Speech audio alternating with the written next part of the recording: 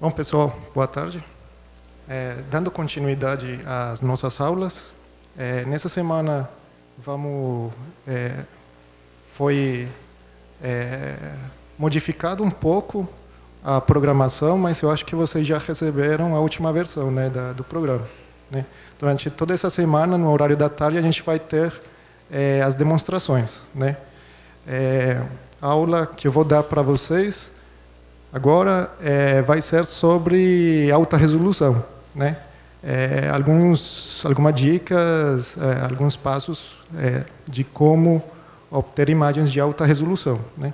E vamos ainda eu vou colocar um pouco também de teoria aqui no início, só para reforçar e lembrar alguns conceitos, né, que são bastante importantes para entender depois algumas coisas da demonstração. Né. É, fiquem à vontade também para interromper e perguntar. Tá? Bom, é, então, como eu falei para vocês, vai ser uma aula demonstrativa de imagem de alta resolução, é, lembrando um pouco onde é, está o nosso microscópio que vamos operar, né?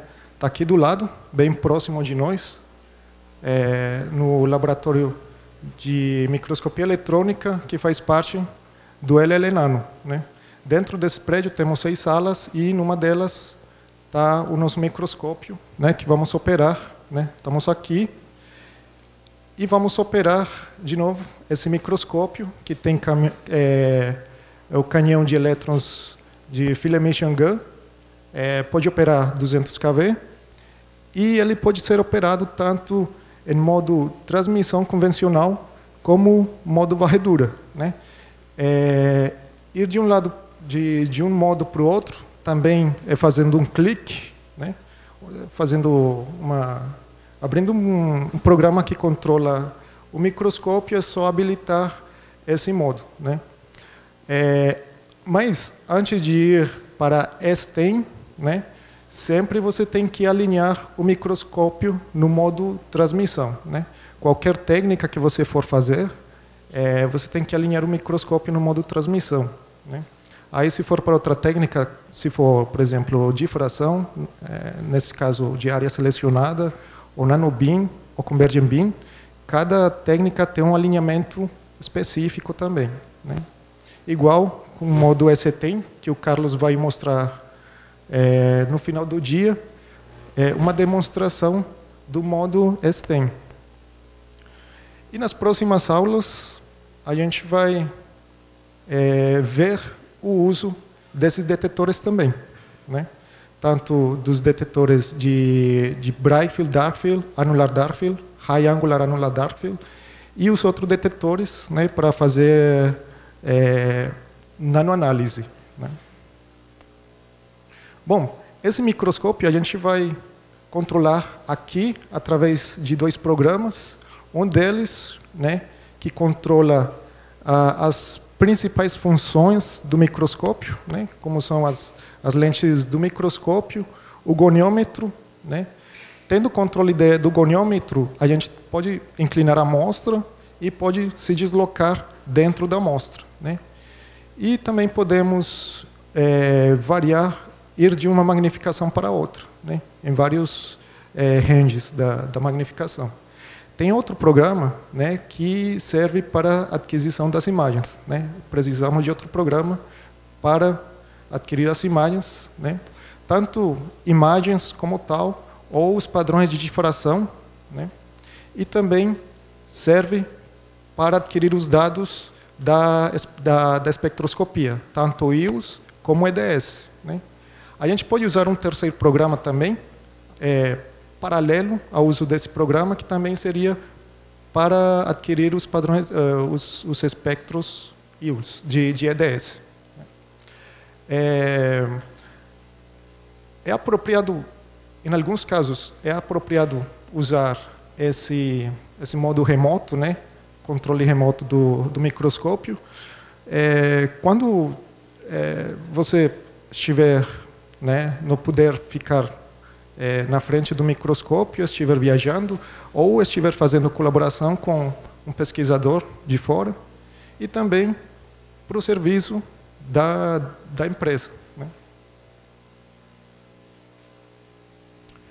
Bom, eu vou falar um pouco, introduzir vocês qual que é a amostra que a gente vai ver hoje. Né? Sempre é bom ter um contato é, da amostra, principalmente as propriedades cristalográficas do material. Né? Então, esse programa são quantum dots enterrados de índio arsênico. Né? É, esse foi um trabalho em colaboração com um pesquisador do, do Synctron. É, ele, bom, tem um substrato de GAS, né? depois foi depositada uma camada tampão de GAS para reduzir a rugosidade do, do substrato. Depois foi é, depositado um, um, um wedge de índio arsênico, uma camada de 200 nanômetros, e depois for, foram depositadas, foram nucleadas as cílias de índio arsênico. Após isso, foi depositada uma camada que vai recobrir os quantum dots, de 30 nanômetros de espessura, né? e foram feitas várias caracterizações desse material. Né? Eu vou falar exclusivamente da microscopia eletrônica, mostrar um exemplo para vocês do que pode ser feito com, com, com microscopia eletrônica de alta resolução, nesse tipo de, de, de amostra. É, bom, falando mais um pouco desse material, nós temos que o substrato, né, índio arsênico de, arsen, é, de AS, ele tem uma, um parâmetro de célula unitária um pouco menor que a de índio arsênico, né? Então, o que, que vai acontecer quando você nucleia, quando você é, cresce um material em cima de outro com uma célula unitária um pouco diferente da outra? A, a diferença, a diferença de 0,7%, mais ou menos, de, entre uma célula unitária e outra. O que você vai ter, então, uma, uma célula vai se acomodar à outra. As duas relativas vão se acomodar uma à outra, né? Então, você vai ter uma é, uma diferença na célula unitária, principalmente muito próximo dos quantum dots, né? basicamente, principalmente na camada de cima. Né? Então, que é, a gente vai estudar é a influência que tem esses quantum dots na célula unitária da, da capin layer. Né? Bom, nós temos um substrato né? Então, para preparar isso para a microscopia eletrônica, eu faço um corte aqui. Né? É, a camada, é, o substrato de GAS foi é de está crescida na 001, né? Então a gente for, foi preparar é, dois tipos de amostras, né? Na direção menos 1, menos 1, 0, né? E na outra 1, 1, 0. Né? Então você fez um corte né? Você, vi, é, você coloca uma cara contra a outra né, do substrato, coloca, passa uma cola apropriada para, para, o vácuo, para a microscopia. Aí depois você embute num cilindro de latão, também colocando cola dentro do latão, fatia, aí depois faz polimento, né? tem vários processos de polimento também, você usa lixas é, de vários, é, vários de diferentes vai diminuindo o tamanho de grão. Aí é, isso é tudo mecânico. Aí depois, ainda na parte mecânica, polimento mecânico, você coloca num dimpo, o disco gira e tem uma roda que gira nesse sentido, então você vai formar uma calota, né? para diminuir é, a espessura no centro da, da amostra. Isso você faz também para você poder manipular a amostra, principalmente com bomba de vácuo. Né? Você não pode, quando furar a amostra, você não pode pegar isso com uma pinça, porque fica muito, muito frágil. Né? Então, o ideal sempre é manipular essa amostra desse que você começa com um book, sempre é manipular com uma bomba mecânica. Bom, depois de que você chegou numa espessura de 5, 10 nanômetros, ou até um pouquinho mais, né, você vai no PIPS ou ion milling para fazer terminar de fazer o polimento com um, um feixe de íons de galho. Né? É, essa foto aqui é o de, de varredura. É uma foto qualquer, só para mostrar que a cara que tem é, a amostra de 3 milímetros de diâmetro e aqui no centro, né, entre, o, entre as caras, a gente vai eh, seria nas bordas do buraco, a gente tem a região fina para ver na microscopia, no microscópio. Né? Bom, feito isso, né, como o Luciano já mencionou, sempre é muito é recomendável você fazer simulações das imagens de alta resolução. Né? Tem vários programas que fazem isso. Né? É, alguns programas fazem melhor que outros. Né? O que a gente usa aqui, já estamos muito mais acostumados com isso, que é o GEMS. Ele simula também tanto é, difração de área selecionada, como Convergent Beam e Nanobeam Diffraction. Essa aqui seria uma simulação é, de área selecionada ao longo do eixo de zona menos 1, menos 1, 0. Né? Seria, seria a cara do padrão de difração se eu orientar e tirar uma difração do meu material. Né? Aí depois, para indexar, eu meço a distância do meu padrão de difração, faço a razão e meço a, a, os ângulos relativos entre eles e comparo com esses valores aqui. Né? Aqui eu estou mostrando que quando você está orientando a amostra, né, você tem que levar a essa convergência da linha de Kikuchi para o centro da sua tela fluorescente. Né?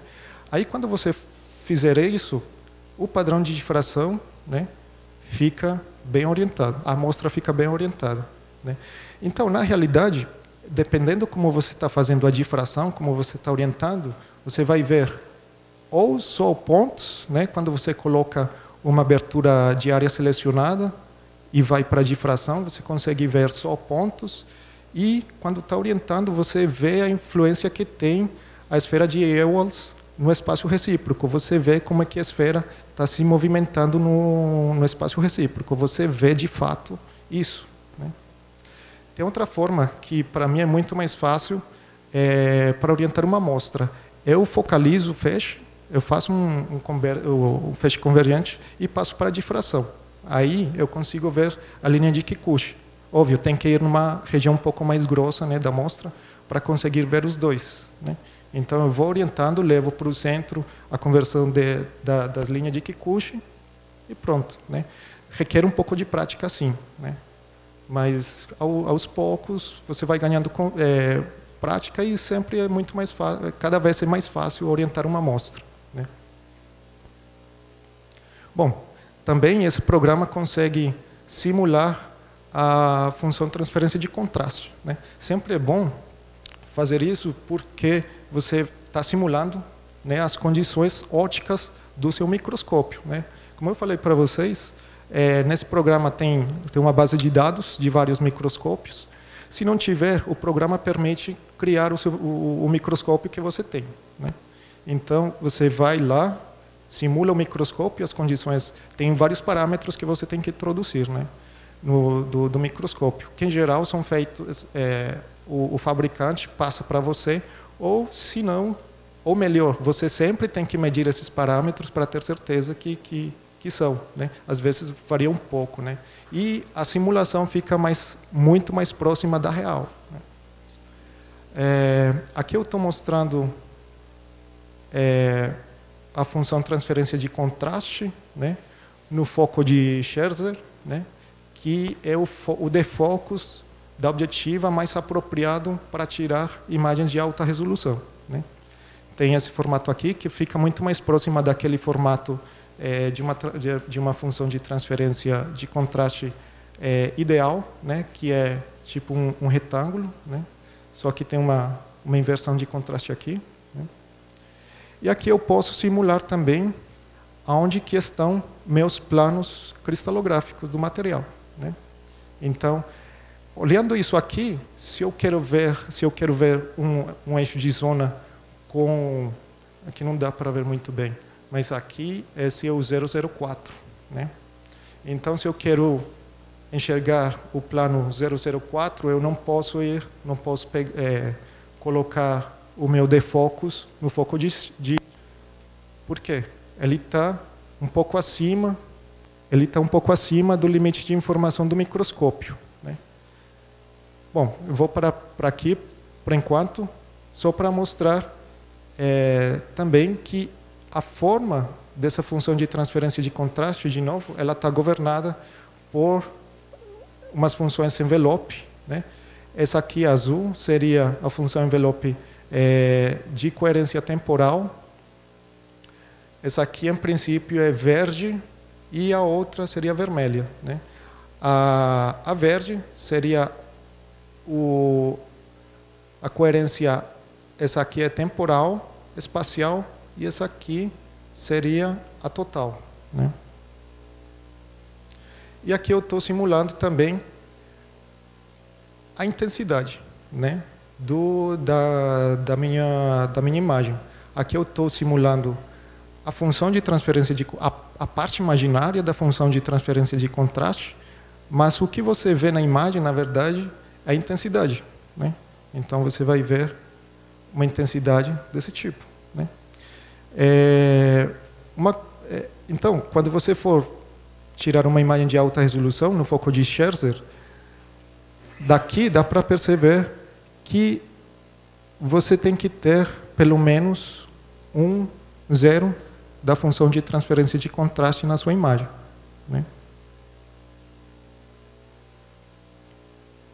Bom, então, como eu estava falando, se você quiser ver o plano, enxergar o plano 004, você tem que defocalizar muito o microscópio, né? É, para conseguir passar é, daqui, esse, essa passabanda daqui para cá. Né? Então você vai ver vários zeros da sua função, mas vai conseguir enxergar, vai além do limite de informação do microscópio e vai conseguir enxergar planos cristalinos menores. E esse aqui, né, é a simulação dessa só do GAS, né? Eu estou variando o defocus de menos 50 com um passo de 10 de menos 50 até 40, né? é, tem 10 quadros aqui e 10 para cima. E para cima eu estou simulando a espessura, começando com uma é, é, três células unitárias, né?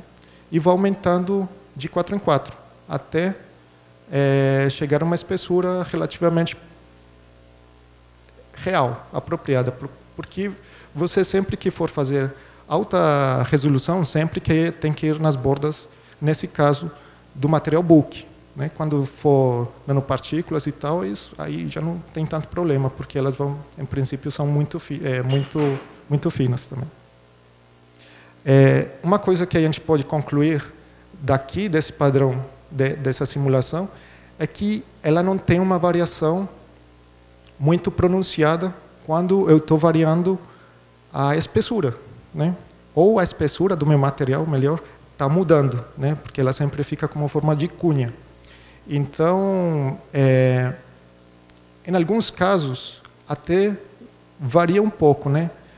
Então, eu consigo ver, em, em, em, algumas situações, eu consigo ver como meus, os pontos brancos vão virar pontos pretos, né? só defocalizando é, a objetiva. Mas, em geral, não tem muita variação com a espessura. Nem com, com o defocus. Tem algumas regiões que, que muda bastante, mas é, é, é um material bastante simples de se ver em alta resolução. Né?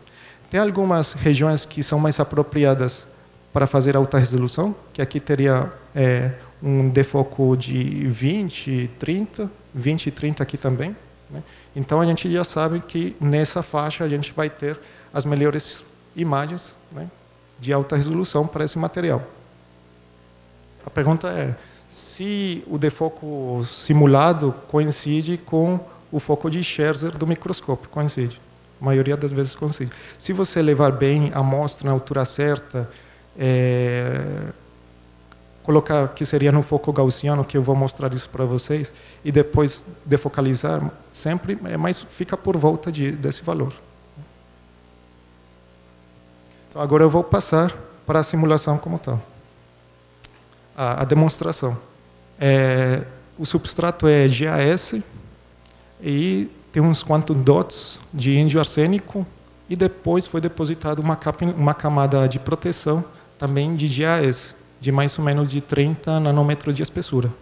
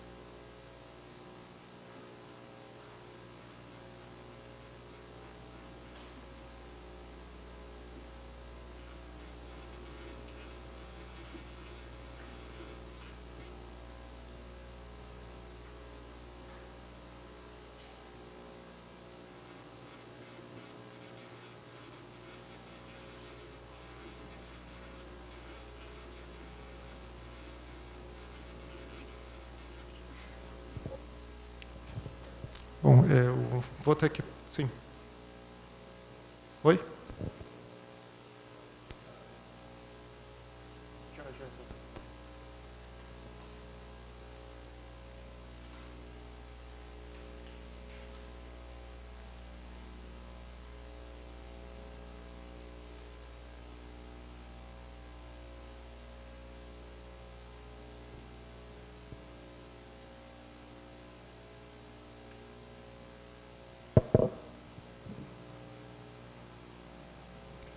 Era o tempo, na verdade, da câmera.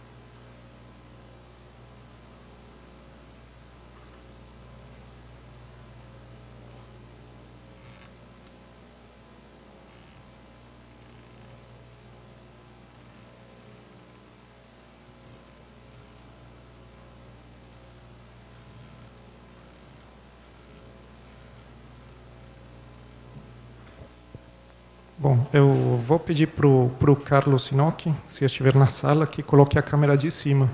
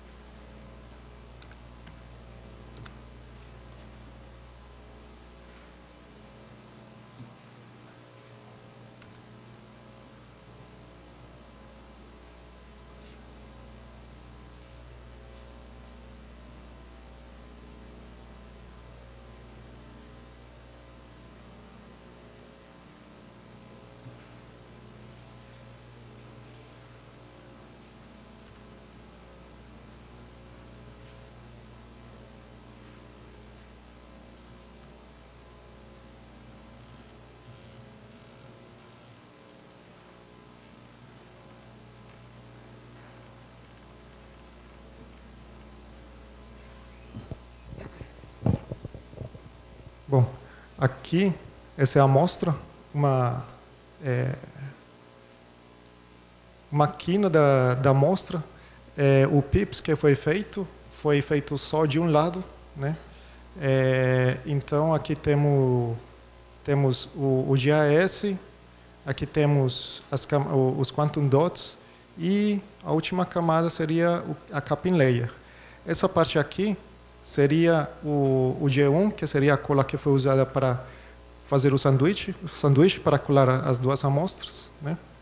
Então, bom, já depois de, de ter achado o feixe, agora eu vou só acertar aqui algumas coisas do, do feixe.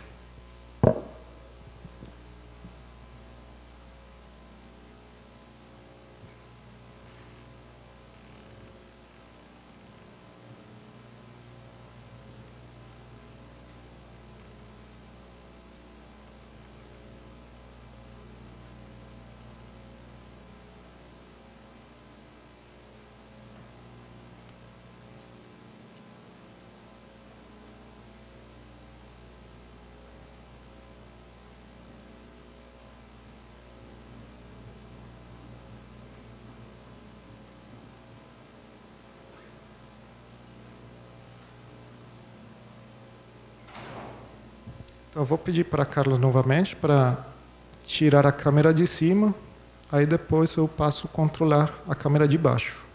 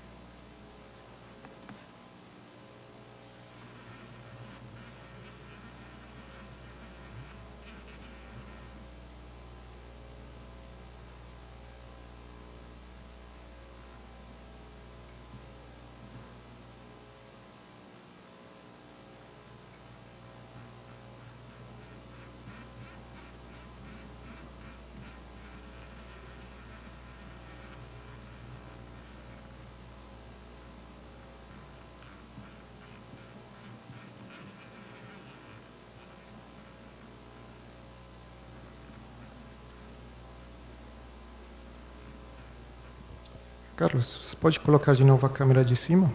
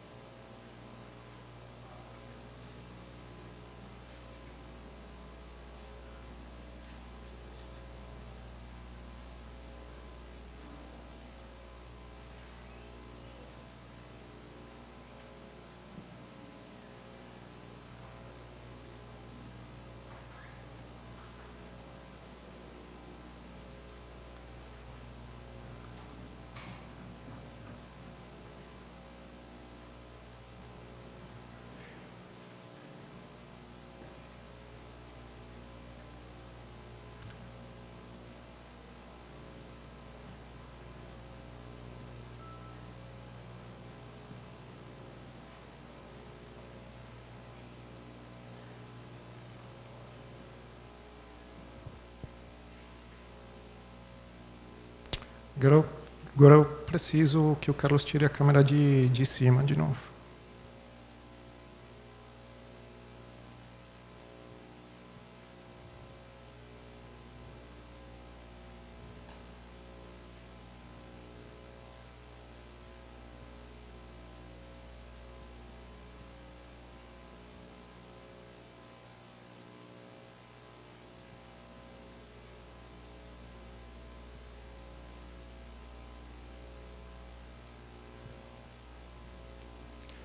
Carlos, tem algum detetor? Se tiver, pode tirar.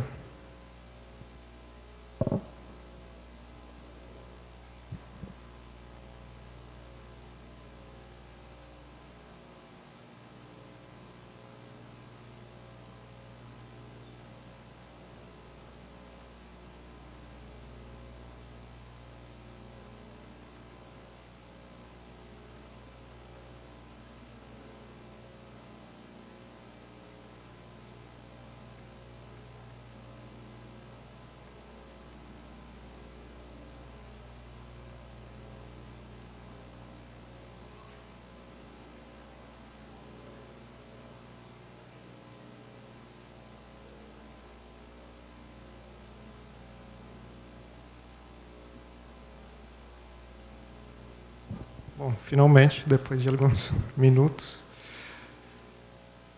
Bom, deixa eu colocar aqui a amostra numa parte do, do amorfo. Bom, o que vocês estão olhando aqui é, é o efeito da preparação da amostra também. Nas bordas da amostra é, é redepositada o amorfiza também o material que, que você está tirando dela. Né? É, as bordas das amostras que você prepara para o cross-section então, é, sempre são boas para fazer é, o ajuste do astigmatismo da objetiva. Né? Aqueles passos que eu mostrei para vocês de como alinhar o microscópio, sempre é bom fazer fora da amostra. Né? Só que a gente fez é, o alinhamento em cima da amostra porque era, é, era uma nanopartícula de ouro depositada num filme de carbono amorfo que estava em toda a grade. Né? Então, se tiver um buraco, tudo bem. Mas se não tiver, então não, não tem problema de fazer o alinhamento em cima desse tipo de amostra. Você faz os alinhamentos perto da região de interesse, né? porque o alinhamento que você faz né, é, leva tempo, né? e esse tempo, nesse, durante esse tempo, a sua amostra está sendo destruída pelo feixe. Né? Então, sempre é bom ir do lado da região que você tem interesse em olhar e depois de fazer o alinhamento, você faz o último, a última parte que seria o astigmatismo da, da objetiva, você faz bem mais próximo numa, da, da borda, por exemplo, da, da mostra, que é a morfisa, que está amorfo, então consegue ver melhor o, na transformada de Fourier como é que está o astigmatismo da objetiva. Essas aqui são as franjas de Fresnel. Né? É, quando estiver a, a, primeira franja estiver branca é porque é, a amostra está, ou é, a lente, na verdade, está em under focus. Né? Você pode mudar, variar o defocus da objetiva para colocar no foco gaussiano, mas o melhor, nesse caso, seria levar a amostra na altura certa, né? de, mínimo, de mínimo contraste, que seria o, o foco gaussiano. Né? Então, aí aqui eu estou mostrando a transformada de Fourier dessa imagem. Né? E aqui já conseguimos ver os zeros da transformada de, é, da função de transferência de contraste. Né? Então, se eu variar aqui o,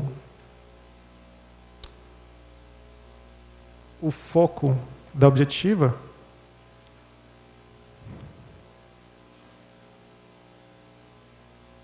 eu consigo, variando o foco, estou saindo da condição mais apropriada. Aqui eu estou passando pelo foco gaussiano, né?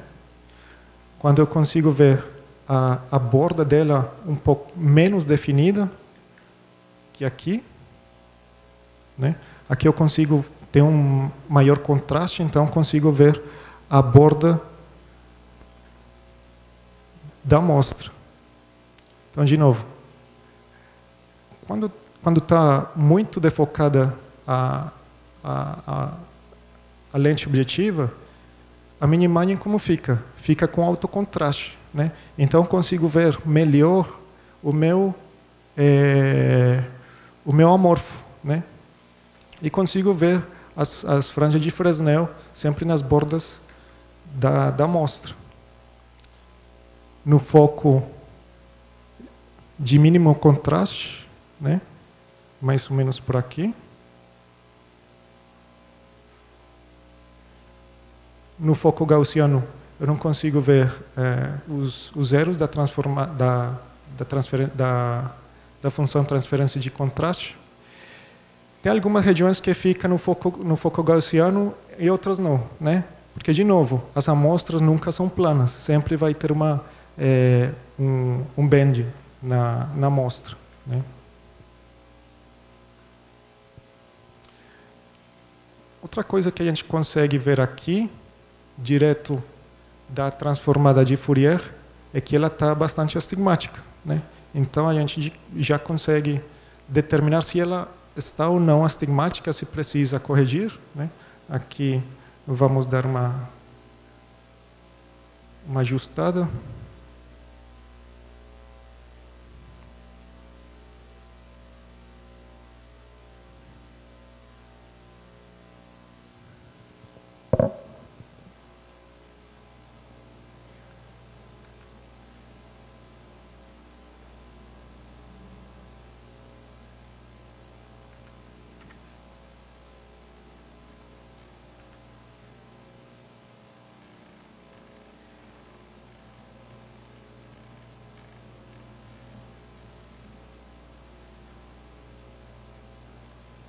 Então, é, você consegue, dá para corrigir o astigmatismo da objetiva tanto em foco gaussiano, que apareceria o X se estiver astigmático, ou tanto no, no, no, no, no underfocus, o overfocus. Né?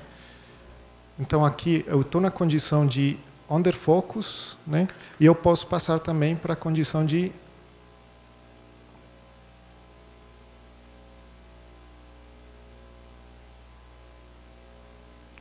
na condição de overfocus, eu posso passar para a condição de overfocus. Agora vamos numa região mais próxima da amostra como tal, de, para ver a, estrutura cristalina. Eu vou ajustar rapidamente aqui a, a altura da amostra.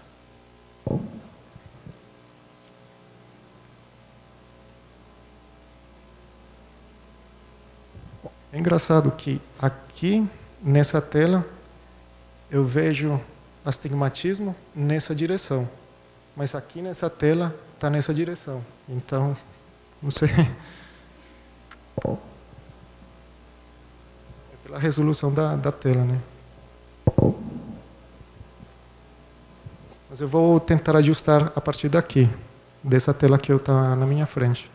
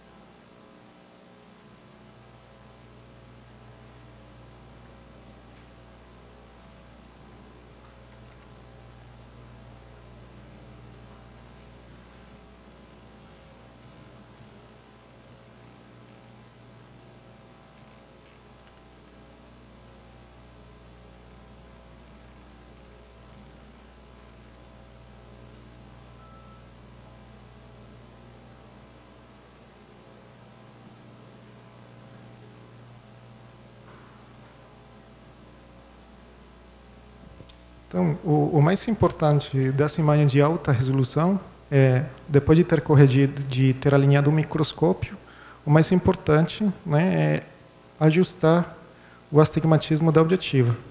Agora estou mexendo a amostra para achar os quantum dots. Aqui já temos é, visualizando a, a rede cristalina, né? Do, do GAS. Aqui já temos um quantum dots e esse aqui seria a capin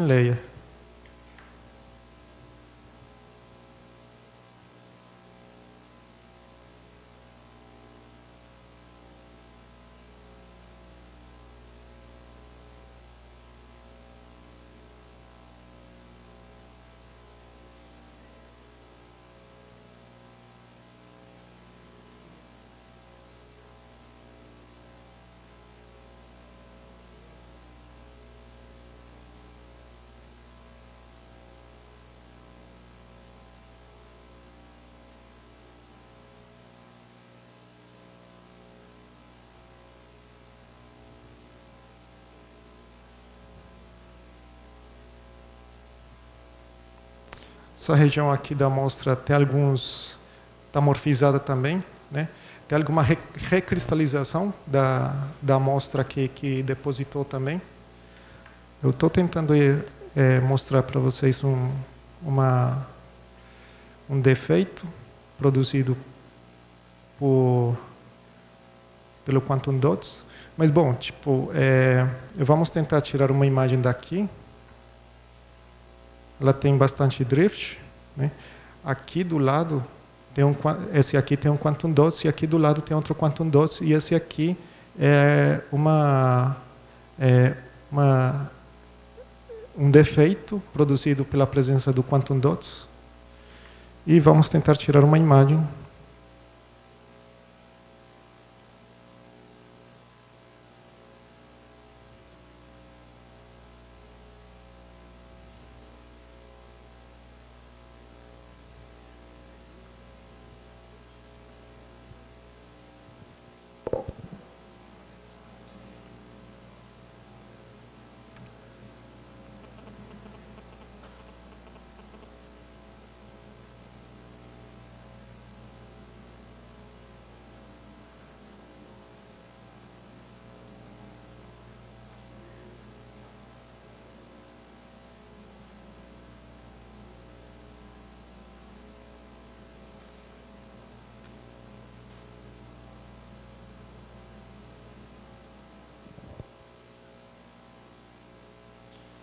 Então, se eu variar o foco, tem alguns, é, alguns pontos que passam para pontos pretos. Né? Se eu defocalizar bastante o meu... Por exemplo, aqui, eu vou tentar tirar uma imagem aqui. Essa região aqui, ela está os pontos pretos. Né? Tentar tirar uma imagem dessa aí.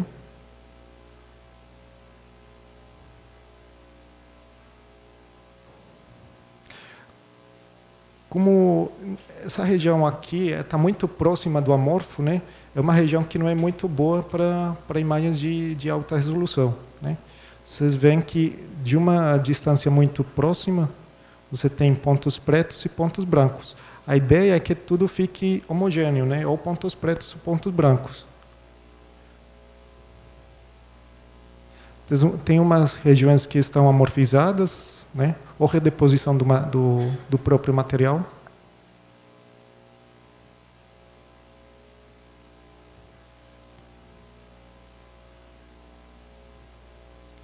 Então, por exemplo, nessa região aqui, os pontos né, brancos viraram pretos. Mas isso porque pode ter uma variação de espessura muito é, muito pronunciada, né? Porque segundo essa parte aqui, parece que redeposita o material, né? Que faz com que tem, tem essa mudança de, de, de, de contraste.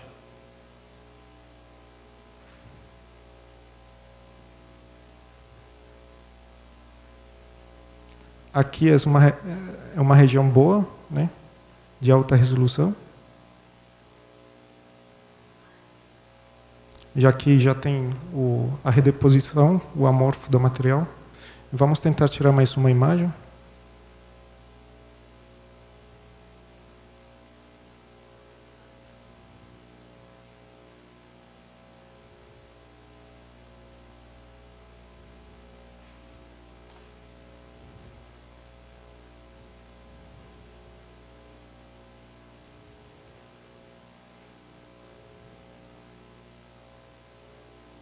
Por exemplo, essa condição aqui é uma condição boa de alta resolução. Quando você lembra que, que tem aqui os, os, os zeros da, da, da função de transferência de contraste, quando você leva esse, esses anéis para fora, né, o anel mais é, tem um anel aqui não dá para ver, mas tem um o primeiro anel, né, o zero da função de transferência de contraste essa aqui é uma, uma, uma situação boa para tirar uma imagem de alta resolução.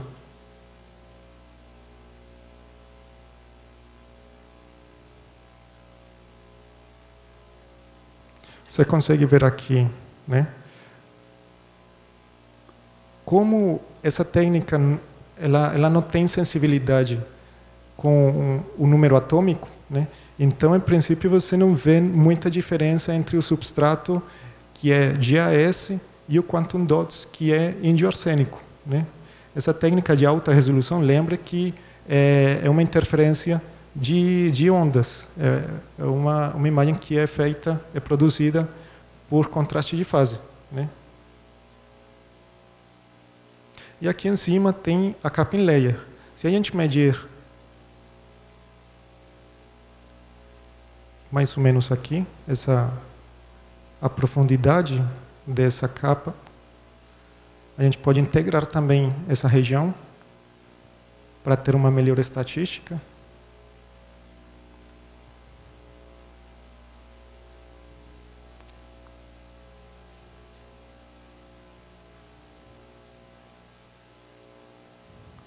mais ou menos entre 20 e 30 nanômetros. Eu tinha falado para vocês que a capa em layer era de 30 nanômetros, mas essa parte aqui da, da amostra, né, essa parte aqui amorfizou. Né? Então, parte da capping layer também foi embora.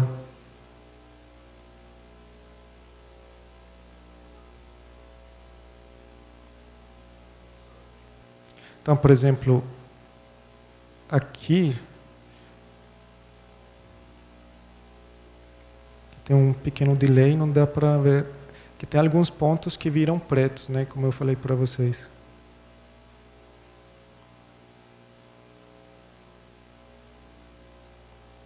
Por exemplo, aqui. Né? A gente pode tirar outra imagem. Então você faz isso quando defocaliza bastante, é de novo, quando você quer ver frequências muito baixas. Né? Então, essa é a ideia. Isso.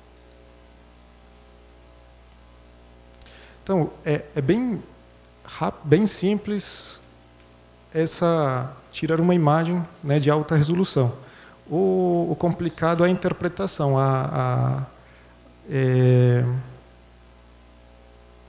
o entendimento dessa imagem. Né? Você tem que fazer simulações e tem que é, demora um pouco, tem que construir a célula unitária se não tiver, ou você carregar ela da, da base de dados, tem que simular também o microscópio e aí depois você faz o comparativo das duas imagens. Né? A pergunta é, se para fazer difração dessa região aí, é, é só apertar o botão. Né? Mas assim, já está alinhado o microscópio no modo transmissão, aí você vai para a difração, aperta o botão, coloca a abertura de área selecionada, né? e também tem que alinhar algumas coisas, dois passos da, da da difração, que seria o astigmatismo das lentes intermediárias, né? E também tem que fazer o, o, o, o do canhão, né? Basicamente é isso.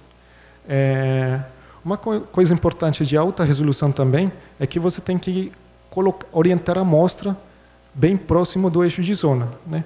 Eu vou tentar simular aqui, vou é, tira a amostra do eixo de zona para ver se modifica ou não essa, essa imagem do, do, do padrão de interferência.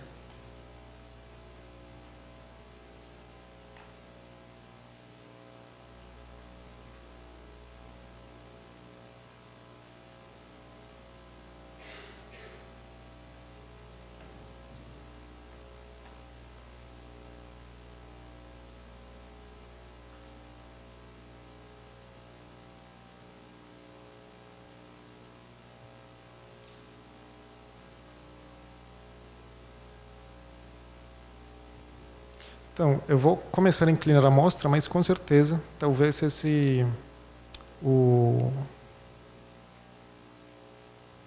vai começar a sair.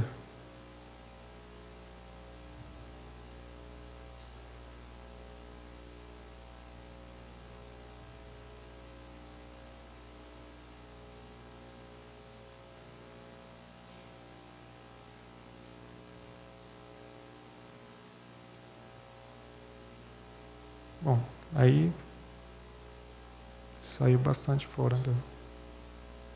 Quando você inclina a amostra, né, seja que você está procurando o eixo de zona, né, quando for fazer imagem, você tem que acertar a altura da amostra.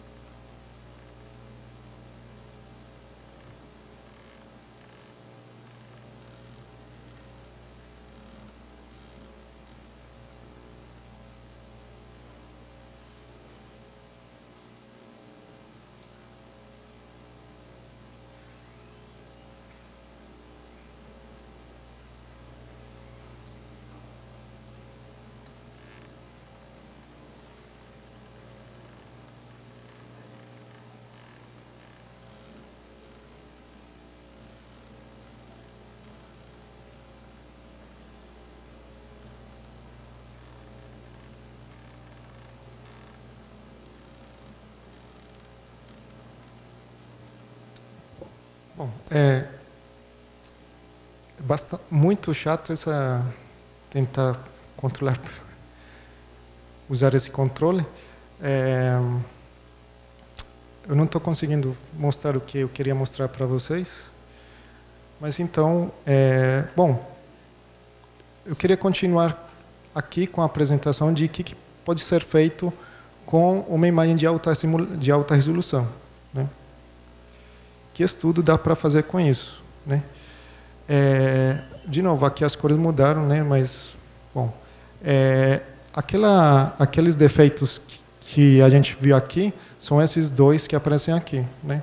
A gente faz a transformada de Fourier e faz usa um programa que ele determina é, a, os esforços, os campos de estresse e strain do material. Aqui ele está mostrando as posições é, a localização de várias é, discordâncias produzidas pela presença desse quantum dots. E a gente pode fazer um mapa tanto é, de rotação como de deformação. E, tirando é, uns perfis, né, dá para determinar aqui, depois de fazer a, a, a estatística, que é, os, a, a, presença dos quantum dots é, faz é, é, mais pronunciada é, uma rotação da, da capping layer que uma deformação, né? É, né? Então esse é, basicamente foi a, a conclusão desse estudo, né? Que é, o, a capping layer é mais sensível a uma rotação pela presença das ilhas que uma deformação. Bom, finalmente, só para lembrar quais são os passos mais importantes é, antes de fazer alta resolução, né? Você tem que escolher um microscópio com um baixíssimo é, coeficiente de aberração esférica né? e um comprimento de onda bem baixo. Né? Tem que alinhar o microscópio, tem que trabalhar numa região fina né? e uma região preferencialmente limpa, fora de, de, de redeposição de, da amostra. Tem que orientar é, a amostra no eixo de zona que você quer estudar, corrigir os astigmatismos, é, fazer uma imagem de mínimo contraste e aqui ou tirar uma série focal ou ir direto é, defocalizar o microscópio e colocar no foco de, de Scherzer, né, que é o, a, condição, em algumas, em algumas situações, a mais apropriada para fazer imagem. É, de novo, tem que fazer difração, sempre é, é, recomendável ter uma difração da sua amostra. E, bom, é, pode simular antes, é mais é preferível simular antes de ir no microscópio e depois fazer os processamentos de imagens com os diferentes programas.